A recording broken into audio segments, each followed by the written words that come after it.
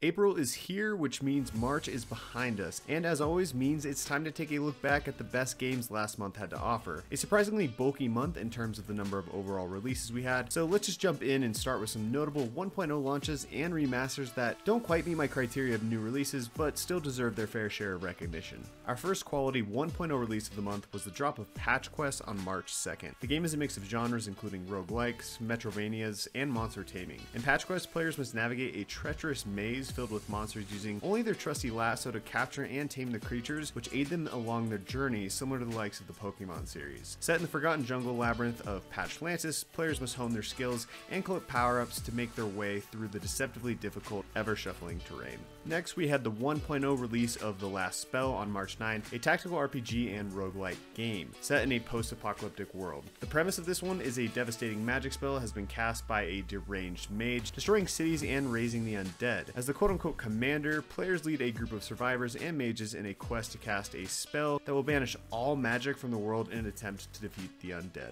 And then on March 13th was the 1.0 release of Barotrauma, a survival horror role-playing submarine simulator, which takes place in the distant future on a submarine where players explore the dangerous waters of Jupiter's moon Europa. Players are assigned roles on the crew and must work together to survive. Additionally, some game modes allow traitors to be among the crew, facilitating a suspenseful environment. And then on that very next day was the 1.0 release of Spin Rhythm XD, a rhythm game inspired by classic arcade games such as Guitar Hero and Dance Dance Revolution. The game features modern aesthetics, electronic music, and supports multiple control and play styles. The game has handmade stages across 5 difficulty levels and 60 licensed tracks from various artists. It also includes a level editor, customization options, plenty of accessibility features, and allows players to compete on a global leaderboard to show off their skills. And our last quality 1.0 release took place on March 22nd with Have a Nice Death, a roguelite hack and slash side scroller where players take on Death, the CEO of Death Incorporated, who must restore order after his employees, the Sorrows, cause chaos within the organization. With their trusty scythe, players explore the procedurally generated departments of Death Inc., battling bosses and upgrading weapons along the way. The game offers a nice twist where if players become too powerful, unintended consequences can occur, with one such example being rising costs of vital work items. And if you are a fan of remasters, there were two great quality releases in March. On March 1st was the official US release of The Legend of Heroes Trails to Azure, which was originally released exclusively in Asia for the PSP. If you're a fan of the Trails series and want to get a nostalgic hit, or just love traditional JRPGs, definitely give this one a go. Then on March 9th, Fatal Frame Mask of the Lunar Eclipse, the 2008 horror survival game for the Nintendo Wii, saw a remastered release which has seen much praise by fans of the original installment. And with that, let's go ahead and jump on into the top 10 games you should have bought in March 2023. Starting off at number 10 is MLB The Show 23, an annually released single and multiplayer baseball simulator developed by San Diego Studio and published by Sony Interactive. New features to this year's title include storylines, a fresh new game mode that shines the spotlight on the Negro Leagues. Eight players, including Jackie Robinson, Buck O'Neil, and Satchel Paige, are all featured, along with many other greats. Additionally, core seasons in Diamond Dynasty now lets players snag 99 overall players on day one, with new seasons launching every 6 to 8 weeks. And one piece I find to be the coolest, two-way position players such as Shohei Ohtani can be used both as starting pitchers and as true designated hitters in players' lineups. I've been a huge fan of the show series since its first installment as a kid, and personally, I still think it's worlds ahead of other baseball games. One thing to appreciate Sony has done is that they've opened the doors allowing the show to now be played on Xbox and through Game Pass on day one release. As someone who's been a longtime fan but hasn't had my hands on a PlayStation for quite some time, it's a huge plus for me and others like myself. Super Mega Baseball 3 only goes so far, uh, unfortunately, so hit some dingers in MLB The Show 23, available on all PlayStations, Xboxes, Switch, and Game Pass.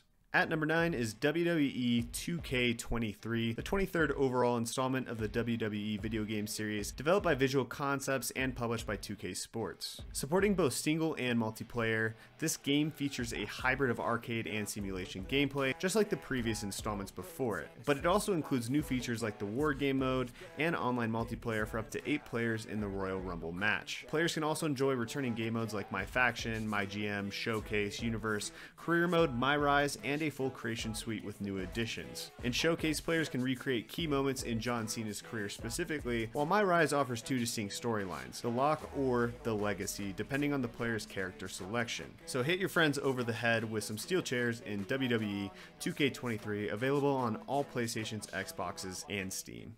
Number 8. Mortal Sin, an early access single player first person action roguelike developed and published by Nikolo Todorovic. Mortal Sin is a game that takes players on an endless horror journey with intense action where death is just the beginning. Players must fight their way through a nightmare with deep and rewarding melee combat. Each hit causes devastating wounds as the player can seamlessly link attacks for fluid gameplay. The game offers a ton of replayability with procedurally generated levels and loot. Players are also allowed the opportunity to unlock special classes such as Mage, Monk, or Berserker, and over time, I presume, many more to come as this one continues in its development. Embrace your immortality in Mortal Sin, available on Steam in early access with full controller support and 22 unlockable achievements. Next, at number 7 is another early access single player game in Big Ambitions, a management role playing sim developed and published by Hovgaard Games. In Big Ambitions, players can become a successful entrepreneur starting from scratch in New York City. With the help of their uncle, they start off with an apartment and a small job, but it's up to the players to achieve success and become the biggest tycoon in New York. Players can choose to build multiple small businesses, grow them into huge corporations,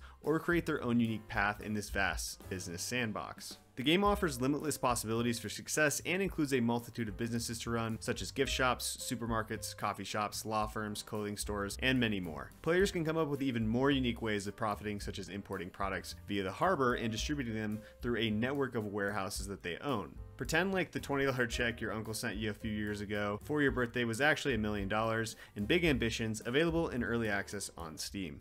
Moving on to number 6, we have Contraband Police, a single player open world action game developed by Crazy Rocks and published by Playway SA. Contraband Police takes place in 1981, located in the region of Karikatka, tossing players into shoes of a communist border patrol agent. Players will need to keep an eye out for smugglers using UV flashlights to search for vehicles and stop any contraband from crossing the border. They must also be prepared for shootouts with drug traveling gangs and high speed police chases with desperate smugglers. As a young officer trainee, players will be in charge of post management and upgrading the station's defense. Successful inspections, foiled smuggling, and successful interventions will earn players cash to improve these stations. Additionally, the game includes special assignments such as solving crime puzzles, supporting comrades, and thwarting the Blood Fist rebels. Take out the dirty anti-commie smuggling rats and contraband police available on Steam. Next, at number 5 is Wo Long Fallen Dynasty, a single and multiplayer historical fantasy Souls-like RPG developed by Team Ninja and published by Koei Tecmo. Despite a rough launch player's experience from the PC port and generally bad performance issues across the board, it seems the most recent patch saved Wo Long from missing my list this month. With that being said, Wo Long Fallen Dynasty is set in 184 AD during the later Han Dynasty in China, where chaos and destruction currently reigns. With the focus being on combat, players must deflect and dodge enemy attacks with melee weapons to counter opponents. While performing close range attacks, a spirit gauge will gradually fill, allowing players to unleash spirit attacks by using special moves or elemental spells. Enemies are equipped with a moral rank indicating the difficulty of the combat encounter, with more difficult enemies dropping more valuable loot. The game also features 5 Divine Beasts to select from, which assist players during combat and can provide passive perks along the way. Wo Long is largely linear, so battle flags are scattered throughout the world that players can use to save their game or upgrade their characters using the game's experience system. And one additional thing worth mentioning, unlike the Nioh series, Wo Long features a jump button which facilitates more exploration and combat of the map. So take on ancient evils in the recently patched Wo Long Fallen Dynasty, available on all PlayStations, Xboxes, Steam, and Game Pass. Number 4. Bayonetta Origins, Cereza and the Lost Demon, a single-player action adventure game developed by Platinum Games and published by Nintendo. The game takes place in the Avalon Forest where players follow Cereza, a young witch, as she embarks on a journey to save her imprisoned mother. Players control both Cereza and Cheshire, a demon bound to her stuffed toy using both the left and right Joy-Con controllers to control the character's movements separately. Cheshire can be toggled between two modes, Unleashed and Hug, which allow players to attack enemies and solve environmental puzzles. Additionally, Cereza uses spells to bind enemies and Cheshire's attacks to defeat them. Elemental cores are collected throughout the story, which provide upgrades to the duo, increasing their powers as the game progresses. Learn how she came to be in Bayonetta Origins, Cereza and the Lost Demon, available exclusively on the Nintendo Switch. Next at number 3 is a single player JRPG in Atelier Ryza 3, Alchemist of the End and the Secret Key.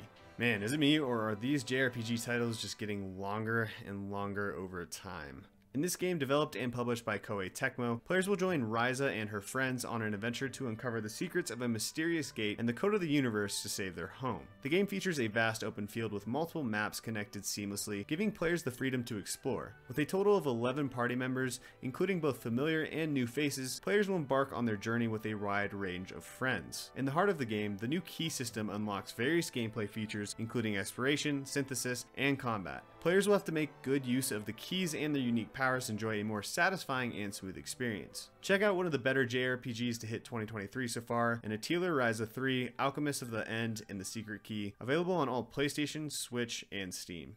Just shy of our top game of the month at number 2 is Dredge, a single player fishing exploration game developed by Black Salt Games and published by Team 17. In Dredge, players catch fish, sell their catch, upgrade their boat, and explore the depths of the ocean for long buried secrets. Starting from the remote archipelago called the Marrows, players can scour the depths for over 125 deep sea creatures and curious collectibles. Each area has its own unique inhabitants, opportunities, and secrets to discover while completing quests and visiting neighboring island regions. Players must be cautious of danger, including sharp rocks, shallow reefs, and the fog that cloaks the nighttime seas. As players unravel the mystery and dredge the depths, they can research special equipment and upgrade their boat to gain access to rare fish and valuable deep sea treasures. They can also sell their discoveries to the locals, learn more about each area, and fight the unfathomable creatures of the deep. Team 17 continues to add another solid title to their portfolio of indie titles in Dredge, available on all major consoles as well as Steam. And landing the number one spot for the month of March is Resident Evil 4, the remake to the 2005 survival horror game developed and published by Capcom. Players take control of the US agent Leon S. Kennedy, who must save Ashley Graham, the daughter of the United States President, from a mysterious cult.